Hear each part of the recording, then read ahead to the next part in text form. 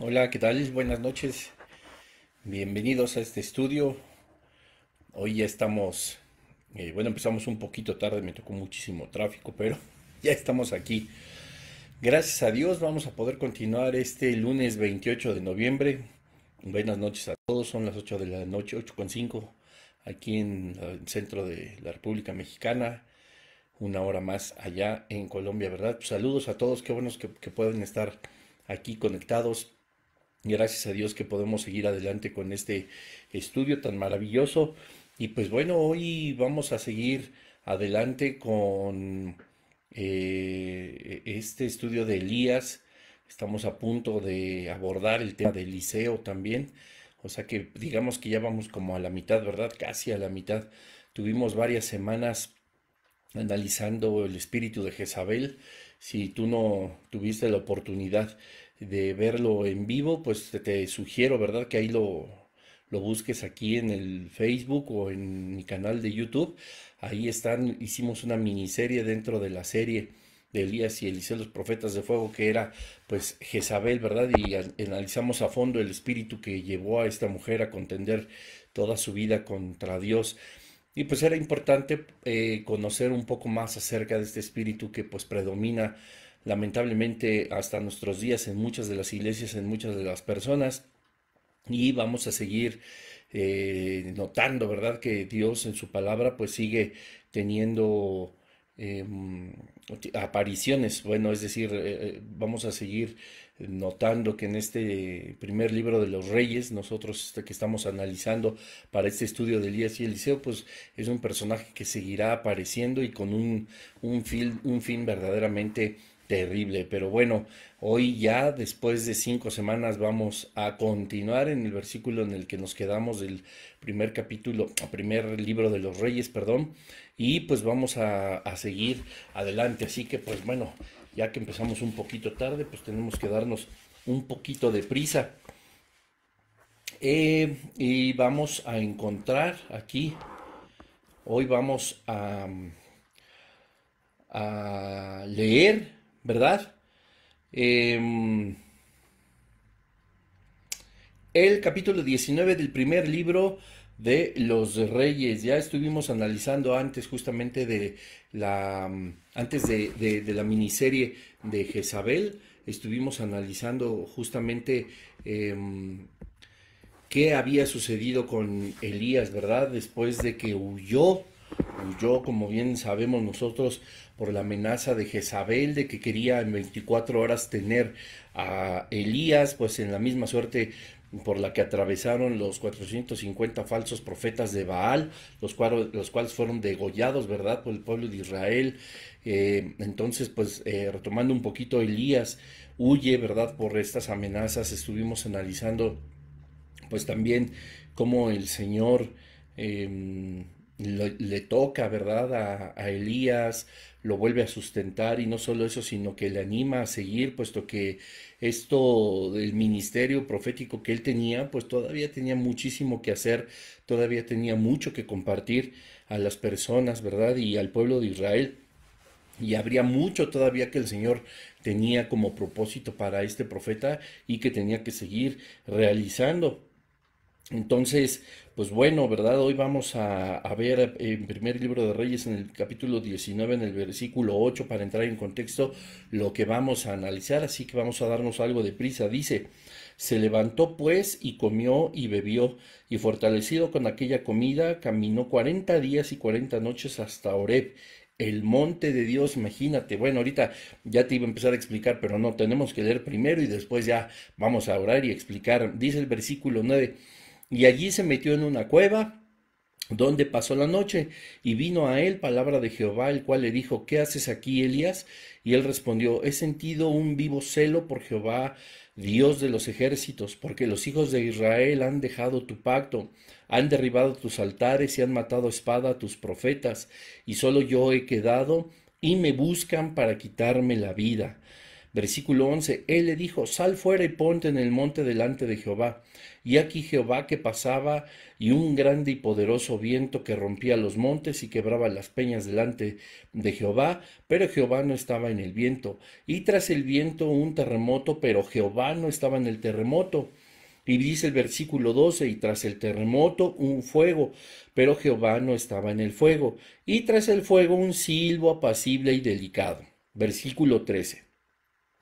Y cuando lo oyó Elías, cubrió su rostro con un manto, y salió, y se puso a la puerta de la cueva, y aquí vino a él una voz diciendo, ¿Qué haces aquí, Elías? Él respondió, como nos, enseña, ¿verdad?, el versículo 10, He sentido un vivo celo por Jehová de los ejércitos, porque los hijos de Israel han dejado tu pacto, han derribado tus altares y han matado a espada tus profetas, y solo yo he quedado y me buscan para quitarme la vida. Versículo 15. Y le dijo Jehová, Ve, vuélvete por tu camino por el desierto de Damasco y llegarás y ungirás a Sael por rey de Siria. A Jehú, hijo de Nimsi, ungirás por rey sobre Israel, y a Eliseo, hijo de Safat, de Abel Meola, ungirás para que sea profeta en tu lugar, ¿verdad? Bueno, vamos a dejar la lectura hasta aquí, pues como nos estamos dando cuenta, pues hay mucho que aprender y estamos encontrando una vez más una situación así muy curiosa eh, eh, con, con, Elías, ¿verdad? Porque estábamos hablando de que estuvo, pues él triste, estuvo deprimido, lleno de miedo en cuanto escuchó la amenaza de Jezabel, ¿verdad? El día que él escuchó decir a través de los labios del, del del mensajero de Jezabel de que ella no descansaría y que prometía que en 24 horas tendría la misma suerte que tenían los falsos profetas, los 450 falsos profetas, es decir, que sería degollado, pues huyó. Nos damos cuenta de que huyó lejos y aún así el Señor Jesús pues, lo sustentaba, ¿verdad? Y como decíamos en un inicio, pues él llegaba de tal forma a a animarlo, ¿verdad? Porque todavía había muchísimo, muchísimo que tenía que hacer. Y bueno, pues vamos ahora rápidamente para entrar al estudio del versículo 8. En el nombre de Jesús, Padre, te damos gracias porque tú eres bueno, tú nos has permitido llegar a tiempo, Padre, para conectarnos a este estudio. Gracias, Señor, porque tú en tu infinita misericordia nos has eh, abierto las puertas, puesto los medios y las posibilidades para que podamos seguir estudiando tu palabra, Señor. Nosotros estamos agradecidos contigo, Señor, porque nos permites eh, eh, lunes a lunes, ¿verdad, Padre? Tu, tu, palabra con la guía de tu Espíritu Santo. Te damos tantas gracias, Señor, porque tú has sido bueno y que esta noche no sea la excepción, Padre, ni que sea diferente, sino todo lo contrario, que tu Espíritu Santo se manifieste una vez más a través de la enseñanza y el aprendizaje de tu palabra. En tu nombre poderoso oramos, Señor Jesús. Amén. Y bueno, pues imagínense qué cosa tan impresionante, ¿verdad? Hoy, eh, bueno, más bien, em, ayer tuve, hoy es lunes, perdón, el sábado tuvimos la bendición de estar en San Juan de las Manzanas por allá, ¿verdad? Compartiendo con unos jóvenes y las familias de la congregación. Y pues la, verdad es que hubo un, un, versículo base, hubo un tema que era base justamente para que nosotros pudiéramos compartir con ellos. Y había muchísimas cosas bien interesantes, no solamente las administraciones que se llevaron a cabo donde hablaban que la, la gloriosa presencia del Señor pudiera manifestarse, sino que pudiéramos nosotros entender cómo hay un vínculo perfecto entre el cielo y la tierra, ¿no? Ganado siempre por, por Jesucristo y por el amor de Dios hacia su creación. Entonces fue algo de muchísima bendición. Le mandamos un saludo al pastor este, Luis, al pastor Guadalupe, que siempre nos reciben con los brazos abiertos, ¿verdad? Y siempre con, con mucho mucho ánimo y mucha expectativa de lo que Dios va a hablar, pero también de todo la forma en como eh, el Señor se manifiesta a través de la alabanza y de todas las personas, pues es maravilloso. Así que ahí les mandamos un saludo y que Dios siga bendiciendo su ministerio.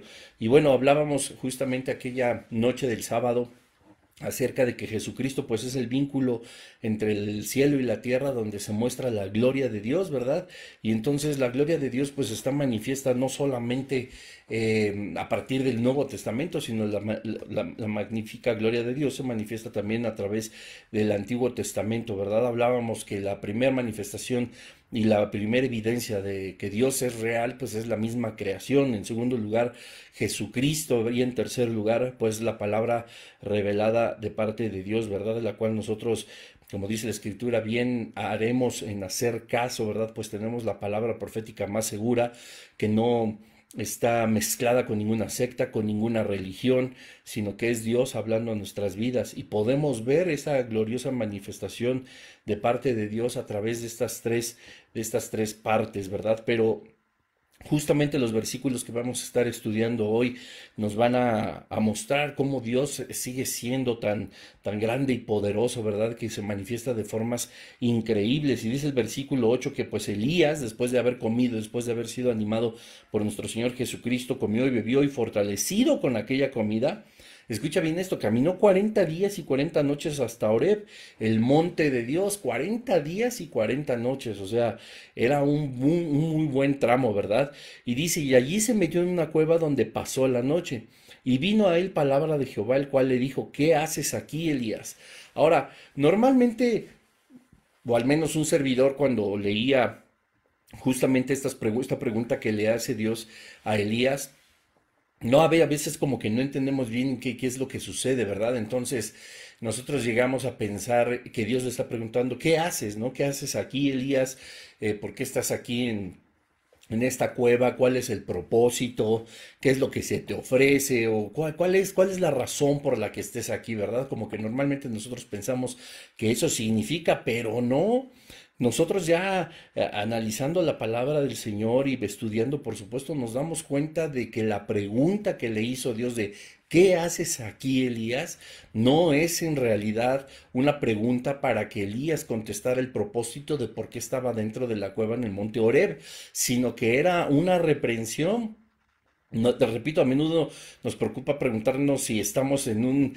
Eh, esto, es, esto es de grande bendición porque esto a nosotros nos hace ver y, preocuparnos porque debemos nosotros de poder ser capaces también de, también de responder eh, esta pregunta, ¿verdad? Ya que no solamente es a Elías, porque le estaba diciendo, ¿qué haces aquí? A menudo te repito, nosotros nos deberíamos estar haciendo la misma pregunta sabiendo en qué, si en el lugar en el que estamos, tanto en nuestro ministerio, en nuestro lugar de reunión, en la forma en la que llevamos nuestra vida cristiana, nuestra vida espiritual, es el camino correcto, ¿verdad? Es el, es el camino donde nosotros debemos de estar, ¿no? Estamos donde deberíamos de estar, estamos donde Dios nos ha llamado, donde es nuestro, donde es nuestra, nuestra hambre también de servirle, ¿verdad? Para poder ser útil a su obra, o estamos haciendo más bien lo que creemos que es correcto. Y esto es una pregunta que todo mundo deberíamos de poder reflexionar, ¿verdad?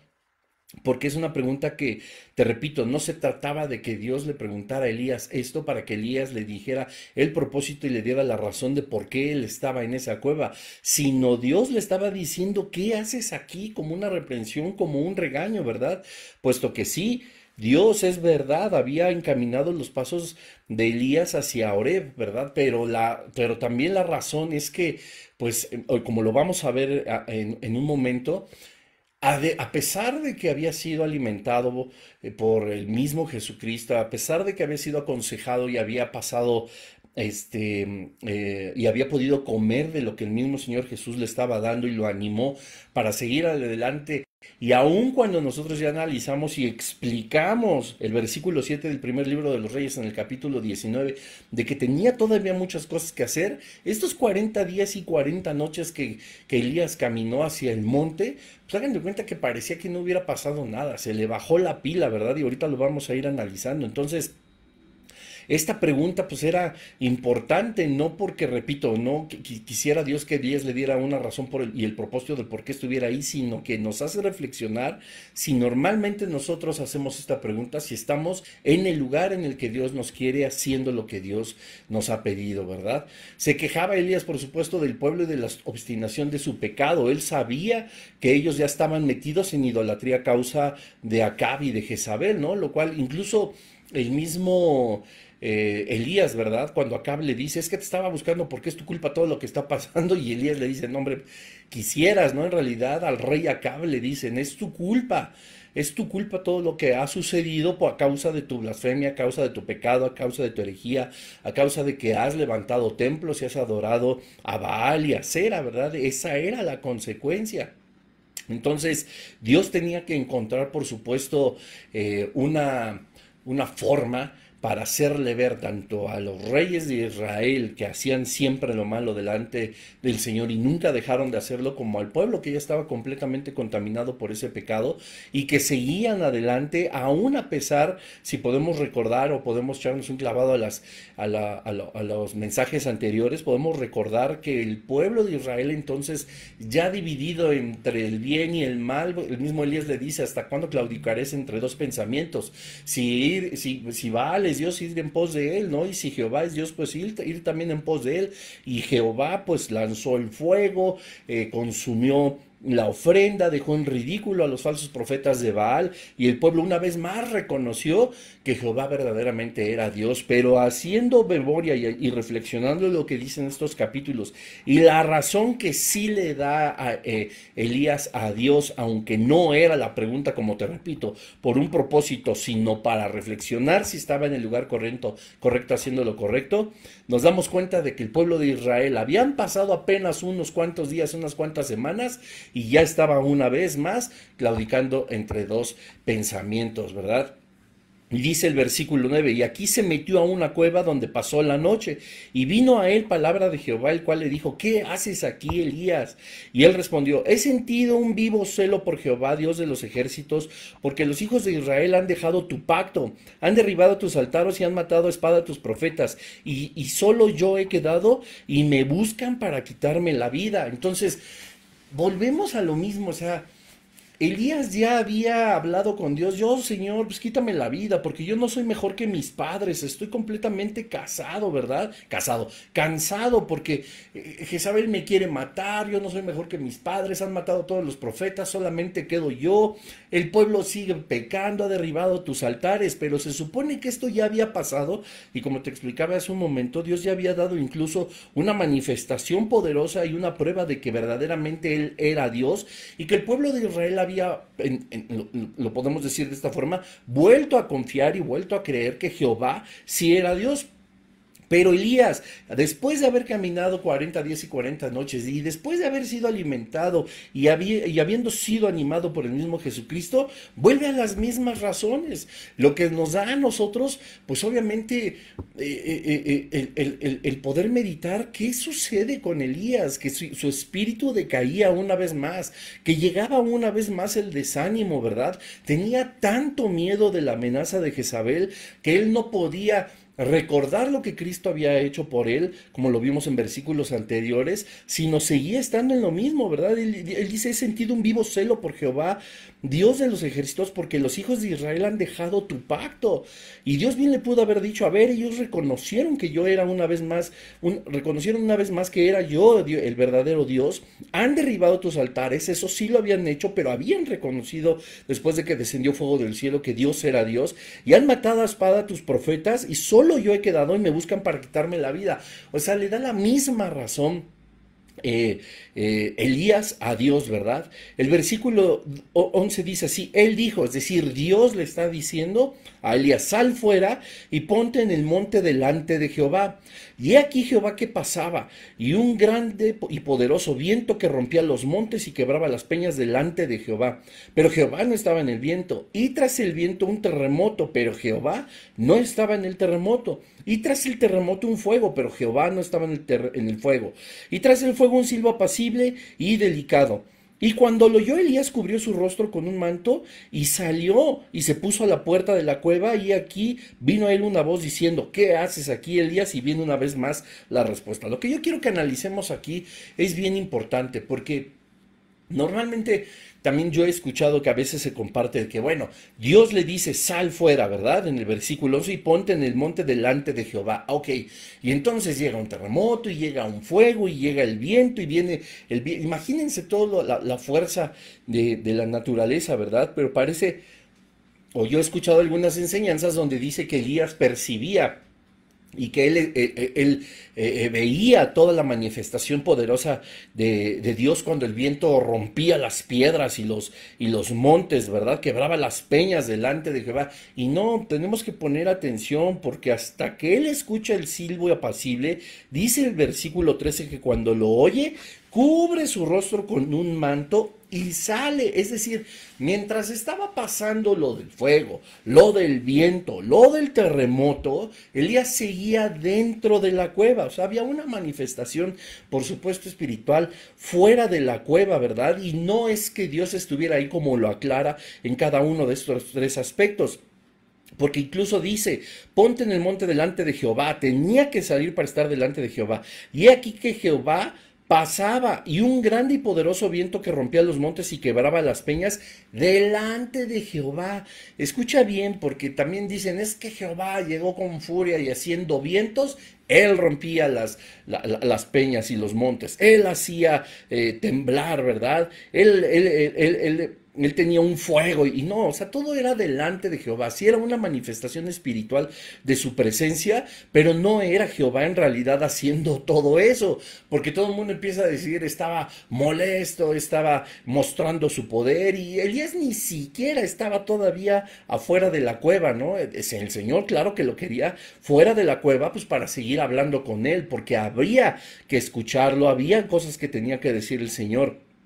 Pero estas tres manifestaciones nos dan a nosotros entender qué cosa tan tremenda es cuando el Señor tiene un propósito para nosotros y está esperando a que nosotros salgamos de la cueva, haciendo por supuesto un llamado de atención, un llamado a que nosotros podamos voltear a ver el poder de Dios y no dudar de Él, ¿verdad? Como lo hacía Elías una vez más después de haber sido alimentado incluso por Jesucristo y después de haber sido animado. Entonces, Dice aquí en el versículo 13, y cuando yo Elías, porque, perdón, desde el versículo 12, y tras el terremoto un fuego, pero Jehová no estaba en el fuego, y tras el fuego un silbo apacible y delicado.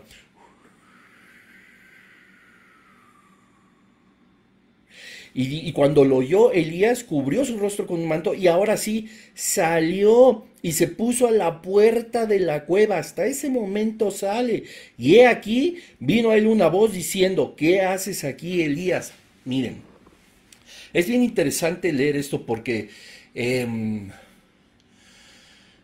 la voz de Dios no estaba delante de ninguna de estas manifestaciones, del fuego, el terremoto y el viento, ni del silbo apacible, porque también tienden a decir y tienden a interpretar que el silbo apacible era la voz de Dios y no, la voz de Dios ya se había escuchado incluso dentro de la cueva. Y en el versículo 13, después de que Elías oye el silbo apacible, ¿verdad? Después de que oye el silbo apacible y delicado, entonces oye la voz de Dios. Y he aquí vino a él una voz diciendo, ¿qué haces aquí, Elías? Y en el versículo 14, una vez más, Elías responde lo del versículo 10. He sentido un vivo celo de bla, bla, bla, bla, bla, bla, y me buscan para quitar la vida. Y le dijo Jehová, Ve, vuélvete por tu camino por el desierto de Damasco y llegarás y ungirás y le encarga hacer tres cosas maravillosas, que eso ya nos da toda la introducción para el siguiente capítulo, el siguiente episodio que nos vamos a encontrar en la escena al profeta Eliseo, ¿verdad? Pero la, la idea justamente es esto, la voz de Dios, la voz apacible, perdón, el viento apacible, el silbo apacible y delicado, revela la presencia de Dios y nos muestra a nosotros que a pesar de que puede haber millones de manifestaciones, manifestaciones espirituales, grandes fuegos, grandes vientos, eh, eh, grandes terremotos, la presencia del Señor a nosotros siempre va a traernos paz, ¿verdad? Lo que habría satisfecho la voluntad de Dios cuando hablaba con Elías era que Elías pudiera tener una paz eh, una, una, paz una vez más manifiesta en su corazón. No despertar temor, no despertar angustia, si de por sí ya estaba una vez más angustiado.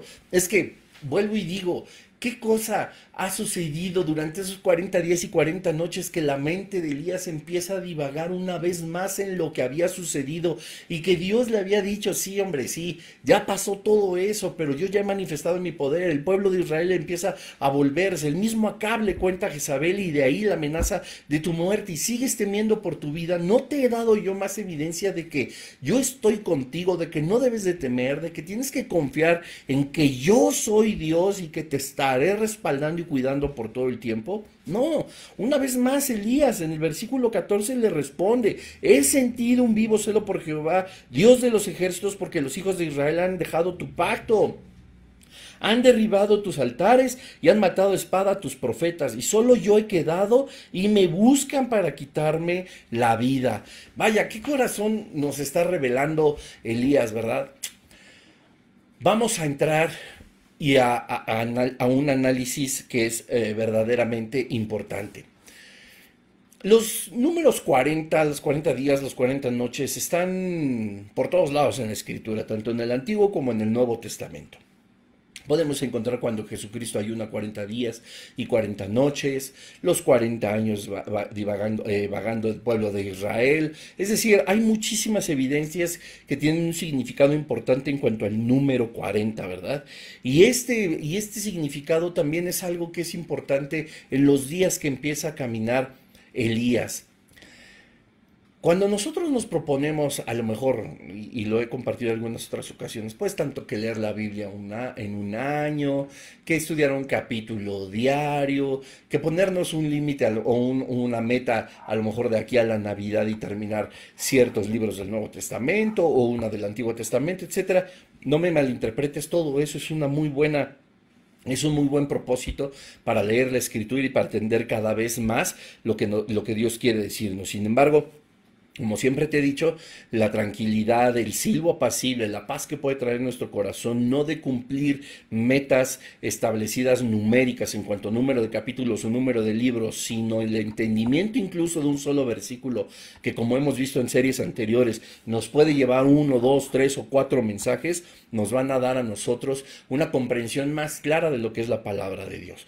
Es por eso que estos 40 días y 40 noches hasta Oreb, monte de Dios a donde camina Elías, que reflexionar sí o sí que algo había pasado. Dice el versículo 6 del primer libro de los Reyes en el capítulo 19. Entonces él miró y aquí a su cabecera una torta cocida, lo que le daba de comer Cristo, sobre las ascuas y una vasija de agua, y comió y bebió y volvió a dormirse. Si se acuerdan, ¿verdad? Ok. Versículo 7. Y volviendo el ángel de Jehová, como ya analizamos que era Jesús, la segunda vez le tocó diciendo, levántate y come porque el largo camino te resta. Viene ahora entonces la obediencia, versículo 8. Se levantó pues y comió y bebió y fortalecido con aquella comida, caminó 40 días y 40 noches hasta Oreb, monte de Dios. ¿Qué pasó durante esos 40 días y 40 noches? ¿Por qué una vez más el temor? ¿Por qué una vez más la, eh, idea? ¿Por qué una vez más el, el miedo de lo que Jezabel había amenazado con hacerlo? Porque además Jezabel, se recuerdan, había dicho, ¿verdad? Que, ah, dice el versículo 2 del capítulo 19, entonces envió Jezabel a Elías un mensajero diciendo, así me hagan los dioses y aún me añadan, si mañana a estas horas yo no he puesto tu persona como la de uno de ellos hablando de los degollados falsos profetas. Hablaba de 24 horas. Ese temor debió haber eh, eh, eh, desaparecido cuando durmió, comió, bebió, se fortaleció de la mano de Jesucristo y se levantó en el versículo 8. Ya habían pasado las 24 horas, se había pasado dos días, habían pasado tres, habían pasado 40 días. La amenaza de Jezabel no se había cumplido una evidencia contundente de que Dios estaba guardando a Elías por el camino donde pudiera andar durante 40 días y 40 noches Jezabel, porque por supuesto tanto Acab como Jezabel nos los muestra el capítulo 17 y 18 del primer libro de los reyes, buscaban con todo fervor a Elías para hacerle pagar aquella terrible sequía. ¿Cuánto más ahora la amenaza de Jezabel tenía que ser cumplida? Y Dios guardó su vida 40 días y 40 noches pero durante esos 40 días y 40 noches Eliseo no reflexionaba en el Señor. Eliseo, perdón, Elías. Elías llegó un momento en que volvió a caer en el temor, volvió a caer en la duda, volvió a aclararle a Dios que Israel todo había corrompido su fe y había edificado altares a Baal y a Cera, lo cual ya no sucedía en su totalidad como lo vamos a ver más adelante en unos versículos, puesto que Dios le hace ver a, Elías que no, él, eh, no era él el único profeta que quedaba. Miren, dice el versículo 17, y el que escapare de espada de Hazael, Jehú lo matará, y el que escapare de la espada de Jehú, Eliseo lo matará. Y yo haré que queden en Israel siete mil cuyas rodillas no se doblaron ante Baal y cuyas bocas no lo besaron. Vamos rápidamente a leer en la carta a los romanos, ¿verdad? El capítulo 11, porque nos va a dar muchísima luz también encontrar una referencia que hace Dios a través del apóstol Pablo en la carta a los romanos en el capítulo 11, en el versículo 2 y 3. O, bueno, 3 vamos a leer. Vamos a leer desde el 1. Dice eh, Romanos 11.1, digo pues, ¿ha desechado Dios a su pueblo? Fíjense qué pregunta tan importante y que se complementa justo con lo que estamos analizando acerca de lo que Dios le dice cuando una vez más Elías queda diciéndole así, pues se va a ir bien feo, ¿verdad? Así como lamiéndose las heridas y haciéndose la víctima. Yo soy el único profeta que queda, todos tus profetas han sido asesinados. ¿Y cómo se atreve Elías también a darle una explicación que recordemos, no se la estaba pidiendo el Señor, sino le estaba tratando de hacer reflexionar que su lugar no era ese, sino que tenía un largo camino que todavía le restaba, según eh, eh, eh, Primero de Reyes 19, este, 7, ¿verdad? Según las palabras de Jesucristo. Y dice, Digo pues, ¿ha desechado Dios a su pueblo? En ninguna manera, porque también yo soy israelita de la descendencia de Abraham, de la tribu de Benjamín. Evidentemente estaba hablando Pablo. Dice el versículo 2, no ha desechado Dios a su pueblo, al cual desde antes conoció. ¿O no sabéis qué dice, qué dice de Elías la escritura? ¿Cómo invoca a Dios contra Israel diciendo, Señor, a tus profetas han dado muerte y a tus altares han derribado. Y solo yo he quedado y procuran matarme. Pero, ¿qué le dice la divina respuesta? Es decir, ¿qué le contesta a Dios en el capítulo 19 del primer libro de Reyes a Elías? Dice, ¿Qué le dice la divina respuesta? Me he reservado siete mil hombres que no han doblado la rodilla delante de Baal. La respuesta al primer libro de los Reyes, al capítulo 18, al versículo, eh, perdón, 19, versículo 18. Así también, aún en este tiempo, ha quedado un remanente escogido por gracia. Esto es súper importante que nosotros debemos de comprender en la vida de Elías. Dios le hace ver una vez más, oye Elías, estás palperation. No, así no es la cosa. Te volviste a deprimir, aun cuando yo llamé tu atención, aun cuando mi Hijo Jesucristo estuvo alimentándote y fortaleciéndote, tú 40 días y cada 40 noches caminando empezaste a enfriarte. Empezaste a darle lugar una vez más al diablo. Empezaste a llenarte una vez más de dudas. El pueblo de Israel no estaba por completo corrompido y Dios no lo había desechado ni lo había desemparado, según también nos aclara Romanos 11 del 1 al 5, ¿verdad? Ah, del 1 al 4, porque Dios así ha amado a su pueblo siempre, a pesar del pecado, no ama el pecado, como dicen por ahí, y esta es una de las frases que, bueno, ¿se acuerdan cuando ya empezamos a hablar acerca de lo del cristianés? Esta es como de una de esas frases cristianes, ¿verdad? Dios odia el pecado, pero ama al pecador. Y bueno, aunque es verdad, pues se oye bien religiosota, pero la, realidad es esta, aún a pesar de nuestras dudas, aún a pesar de nuestros temores, aún a pesar de nuestro pecado, el Señor nos sigue amando, no nos va a desechar. Esto reforzando Primer libro de Reyes en el capítulo 19, versículo 18, con Romanos 11 del 1 al 4, es una evidencia más de que, por ejemplo, la salvación no la perdemos, ¿no? O sea, Dios no nos da una salvación como un requisito divino para solamente poder entrar a su reino y, y meternos a una especie de, lista de recursos humanos o de propiedades o verdad o una plantilla laboral, etcétera. No, nos ama y nos ha dado vida eterna juntamente con él por amor a nosotros mismos a través de Jesucristo.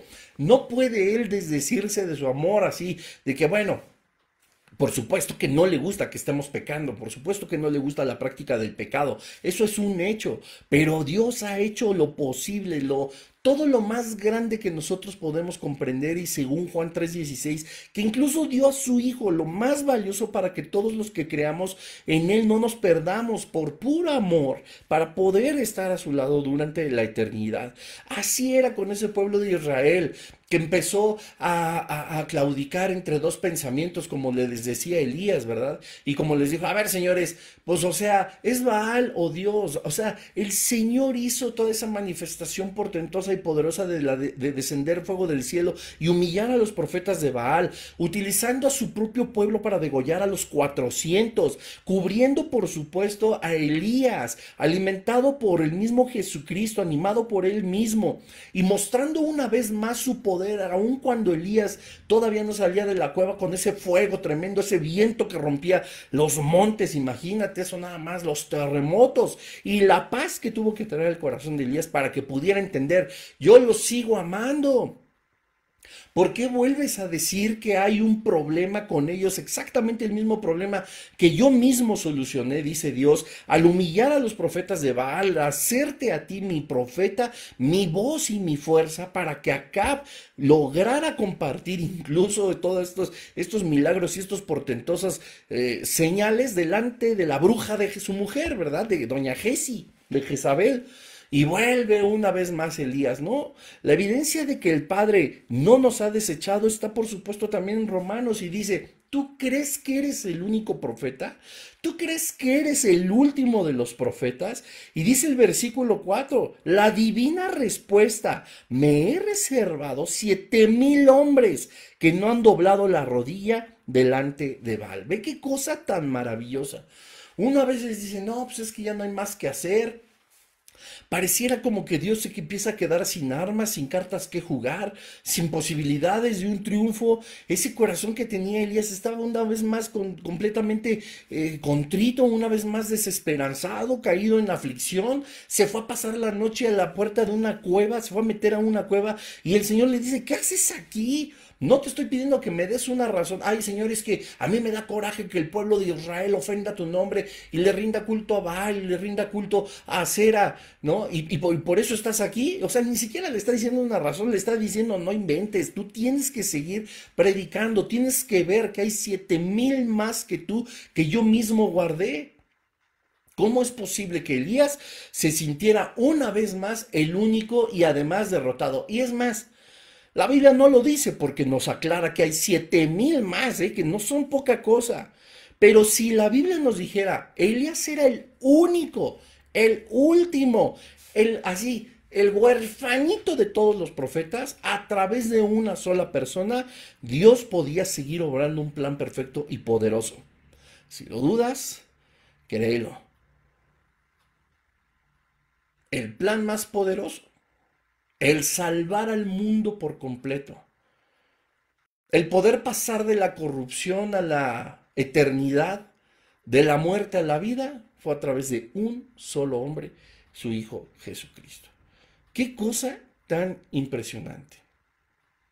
Dios pudo haber sentido dolor en su corazón, por supuesto, a ver una vez más a Elías, aunque no le sorprendía, Elías estaba dando una justificación, ¿verdad?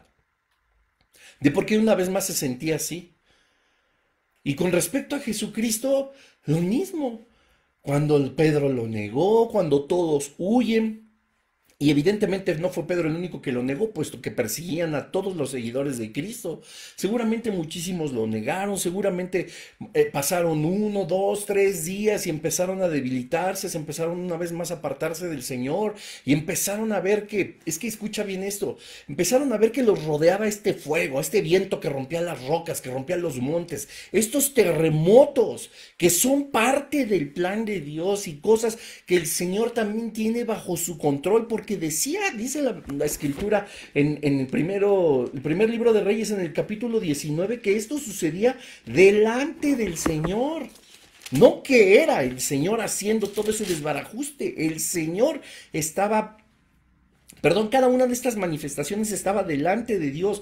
¿No te suena que a cada una de las manifestaciones de justamente la adversidad, los problemas, la aflicción, los desiertos que podemos estar pasando?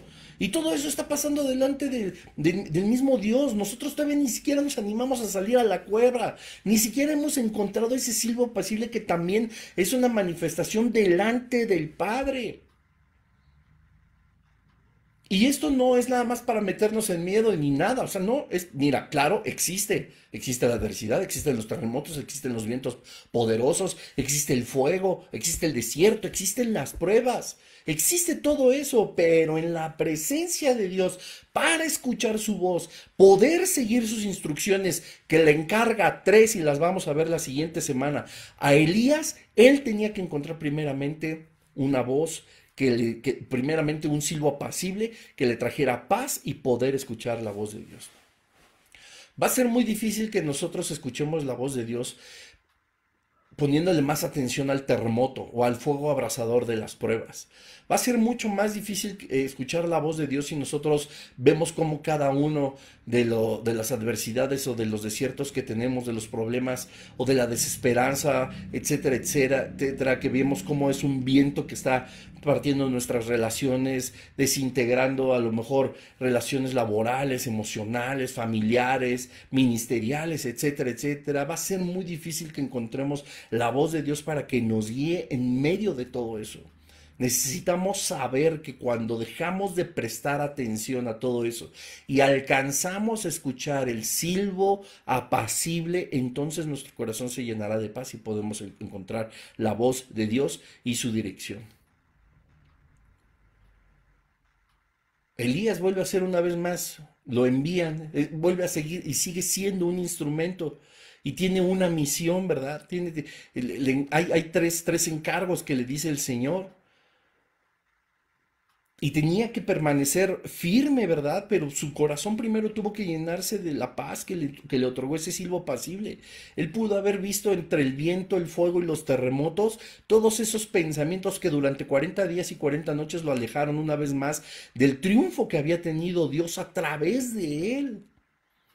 Y a veces así nos pasa. Nos desanimamos, creemos que no somos buenos para el ministerio, creemos que la estamos regando. ¿Por qué? Porque hay un montón de terremotos, fuego y vientos que rompen las, que rompen las piedras y los montes y nos empezamos a intimidar por todas las amenazas del reino de las tinieblas y del mundo.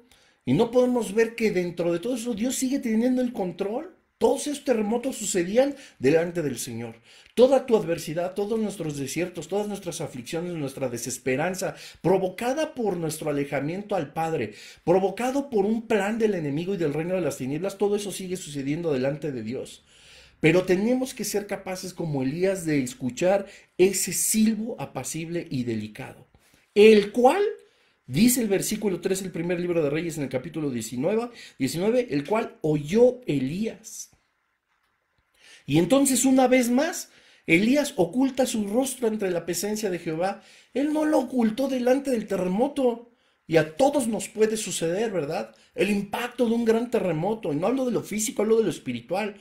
A él no lo, no lo impactó, ni hizo que cubrir su rostro por ese viento que rompía los montes, ni por ese fuego abrasador, sino el silbo apacible. Elías oculta su rostro cuando entiende que en ese silbo apacible está la presencia del Señor, no su voz. No se confundan. Pero había un orgullo en su corazón, había amargura, había, había, eh, eh, eh, había desesperanza, desconsuelo, y te, repito, le vuelve a decir al Señor todas esas quejas que eran de la época o de, los, de, de, las semanas anteriores donde había tenido una victoria el Señor a través de él. Demostrando que la fe de Baal, la fe que pueden tener en el reino de las tinieblas, puede deshacerse con, con solo un tronar de los dedos del Señor, con solo una palabra. Y además Elías tenía el poder de, compartir todo esto con sus labios, con su boca, y lejos de, de exclamar y de decirle a toda la gente lo portentoso que había sido este encuentro con el Señor y el respaldo que había tenido, no. Él lejos de hablar a la gente del poder de Dios, le habla a Dios de la debilidad de su corazón una vez más. Nunca declaró al Señor, gracias, nunca declaró, el, corazón de Israel se ha vuelto una vez más a ti, Dios ve el buen corazón que tienen ahora, otra vez que has mostrado tu poder, la venganza ha sido tuya, Señor, tú le has dado el pago a Baal, tú le has dado el pago a Cera, a Caba, a Jezabel, como van a venir, tu venganza ha sido ejecutada, ¿verdad? Y ahora una vez más, ¿quieres que te siga sirviendo? ¿Quieres que cumpla estas tres tareas? Vaya, voy, ¿verdad? Elevo mi corazón. No me va a amedrentar un terremoto en el cual tú tienes el control. No me va a amedrentar un viento tan recio que destruye los montes porque está delante de ti y tú tienes el control. No me va a mí a espantar un fuego abrasador porque tú también eres fuego y tú me proteges de toda esa adversidad. Yo lejos de prestar atención en eso, voy a prestar atención al silbo apacible y delicado que es estar en tu presencia. Y que me quede claro, como a le hizo ver el Señor, no somos los únicos, no estamos solos, iglesia. A Elías desde el capítulo 18 le costaba mucho ser el profeta, el único profeta que quedaba, porque él sabía, aparte de que no había puesto atención, ¿verdad? Que el mayordomo de Acab había escondido incluso otros 100 profetas. Y en estos 40 días, 40 noches empezó a llenarse tanto de dudas el corazón de Elías que hasta pensó que igual esos profetas ya también habían sido degollados y ejecutados por Jezabel. Y no eran 100, Dios tenía 7 mil. Siete mil. Vamos una vez más a Romanos 11. Y dice lo más importante. Había siete mil. Me he reservado siete mil hombres que no han doblado la rodilla delante de Baal. Eso no era durante los 40 días y 40 noches. Eso era durante toda la época de la sequía. Y eso nos tiene que hacer pensar en que cuando el Señor tiene un propósito para cada uno de nosotros, no es que no lo tenga para nadie más, pero hay algo especial. El mayordomo escondió a cien. Dios tenía contemplado la protección para siete mil que nunca doblaron sus rodillas delante de Baal. Y tenía algo especial para Elías. Y pudo haber escogido a cualquiera de esos cien o cualquiera de esos siete mil pero escogió a Elías. Como lo vemos en el capítulo 17 cuando rompe la escena y llega con una advertencia delante del Señor. ¿Qué pasaba en el corazón de Elías? Llegó, llegó con fuego a advertir de acá.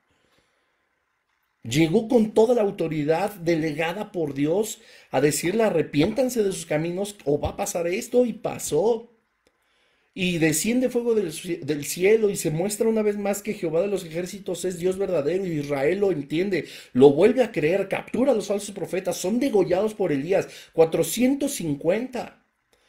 Llega una victoria contundente. Lanza una amenaza a Doña Jesi. Le da miedo a Elías, se va se aparta, Dios lo aparta y al mismo Dios lo fortalece y le da de comer y le encomienda, camine, órale, al monte Oreb. Y él va y se encierra y con la misma excusa, con la misma justificación y una vez más con el corazón hecho pedazos después de las grandes victorias.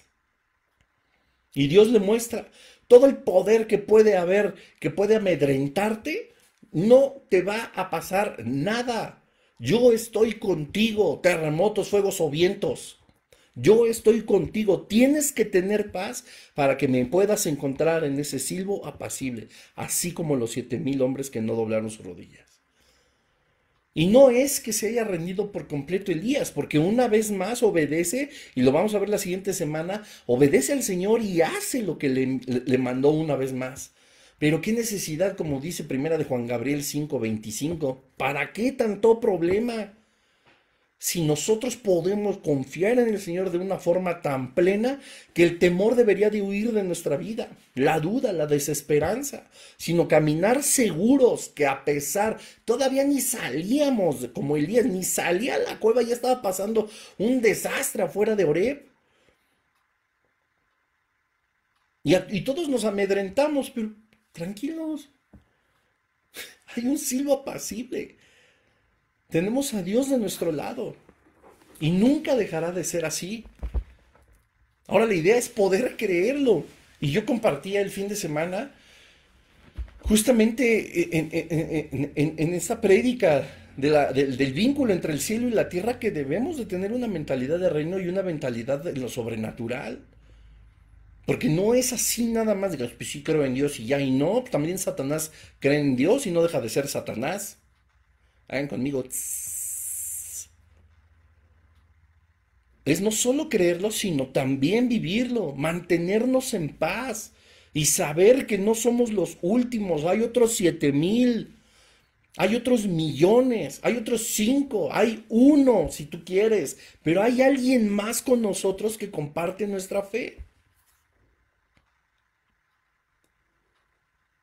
No nos demos no demos lugar a, victimizarnos, ¿verdad? Y no me malinterpretes, yo sé que los problemas son súper difíciles muchas veces, pero vamos a encontrar una mejor solución y una fortaleza real y verdadera en el silbo apacible y delicado de la presencia del Señor.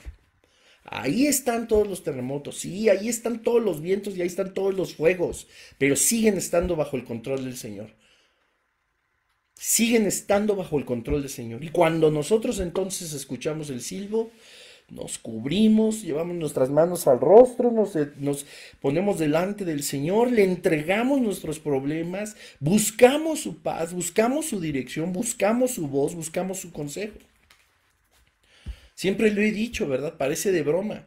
Pero muchas veces nosotros estamos hable y hable y hable y la presencia del Señor y, no, nos, no nos hemos acostumbrado a guardar silencio porque Él también tiene algo que decirnos. Y los diálogos así son. Orar es un diálogo, es una comunicación, un emisor, un receptor y viceversa. Hay que aprender a guardar silencio. Hay que aprender a dejar esos problemas fuera de nuestra casa. ¿Verdad? Y si son los de dentro de la casa, hay que dejar esos problemas de la casa fuera de nuestra habitación donde oramos, fuera de nuestro pedazo de cama, ahí donde nos arrodillamos o donde acostados, o etcétera. Tenemos que deshacernos. Repito, por enésima vez, ni siquiera hemos salido de la cueva, pero sabemos sí verdaderamente que hay terremotos, fuegos y vientos. Busquemos el silbo apacible Entreguemos todas nuestras cargas y todos nuestros problemas al Señor, que Él es justo para, no, eh, eh, dice la Escritura, que Él se compadece de nuestras debilidades, puesto que nos conoce, Él mismo fue tentado con todo lo que nosotros hemos sido tentados. Sin embargo, Él jamás cayó. No tenemos un Dios que no se compadezca de nosotros, conoce todas nuestras debilidades. Dejemos de prestarle oídos al terremoto, a los terremotos que están pasando. No se van a desaparecer, no. Pero vamos a encontrar dirección y fortaleza en ese silbo apacible y delicado. La única manera es hallando la paz que sobrepasa todo entendimiento. Descansemos en los brazos pues de Jesucristo, sabiendo que como Elías hay muchísimo que todavía tenemos que hacer. Y coincidencia, hablar del monte Oreb, ¿verdad? Como la congregación en la que estuve. Seguimos vivos porque hay muchos muertos todavía. No podemos nosotros hacer que alguien crea en Jesucristo y el poder que tiene sobre nuestra vida si nosotros nos encontramos prestando atención a todos los terremotos, fuegos y vientos. Pero si nosotros podemos manifestar la gracia del Señor, este vínculo entre el cielo y la tierra que nos conecta a la paz que sobrepasa todo entendimiento, eso sí es un buen testimonio y eso hablará mucho más de lo que Dios sí hace en nuestra vida. Te dices cristiano y mira cómo estás. Nuestro comportamiento, nuestra tristeza, nuestra desesperanza, nuestra ansiedad, nuestras preocupaciones que ya están afectando nuestra salud, nuestra vida, nuestro trabajo, nuestra familia, es evidencia clara de que le estamos poniendo atención a los terremotos afuera de la cueva que al silbo apacible y a la voz de Dios. Y bueno, espero que haya sido de bendición para ti. Nos vemos la siguiente semana y vamos a darle gracias al Padre. Gracias Dios te damos por este tiempo, Señor, de enseñanza. Dios, te pedimos en el nombre de Jesús que seas tú a través de tu Espíritu Santo, Señor, hablando a nuestra vida, pero que nosotros seamos, seamos también en espíritu capaz de entender que dentro de toda, de toda angustia, de toda desesperanza, de todo terremoto, Señor, de toda adversidad, hay un silbo apacible con el que tú nos hablas, Padre. Ayúdanos, Señor, a encontrar esa paz para poder escuchar tu voz, tu dirección, lo que aún tienes como propósito para nuestra vida, Padre. Nos enfocamos tanto a veces en lo que nos rodea, lo que nos angustia, lo que nos preocupa, que olvidamos, Señor, escuchar tu voz para poder cumplir, a pesar de ese terremoto, fuego o viento, cumplir tu propósito. Yo te pido en el nombre de Jesús que seas tú en nosotros, Padre, dándonos un, un consejo, una la fortaleza que necesitamos, Señor, que podamos nosotros oír con atención también lo que tú tienes como ordenanza para cada uno de nosotros y lo podamos llevar a cabo. A veces estamos tan, tan pendientes, ¿verdad? De, de, notar, Señor, que tú cumples con nuestras peticiones, contra, con, con nuestros eh, anhelos, Señor. Pero pocas veces nosotros nos, nos, preocupamos por cumplir tus mandamientos, por cumplir tu propósito.